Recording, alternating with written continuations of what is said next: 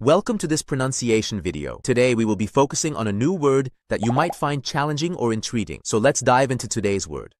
Cosiddetto, which means, so called, commonly named or referred to as allegedly.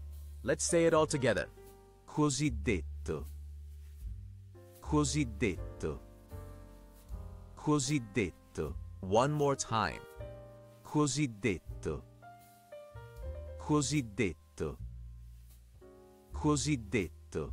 Thank you for joining us on this adventure in pronunciation. Remember, language is a journey, not a destination. Keep exploring, experimenting, and expanding your linguistic horizons. We'll see you next time.